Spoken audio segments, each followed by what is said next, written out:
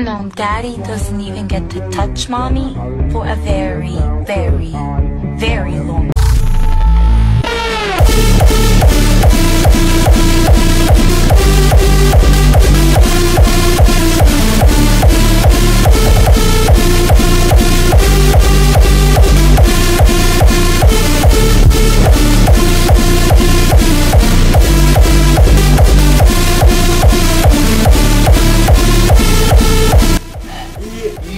Gaburam Bra.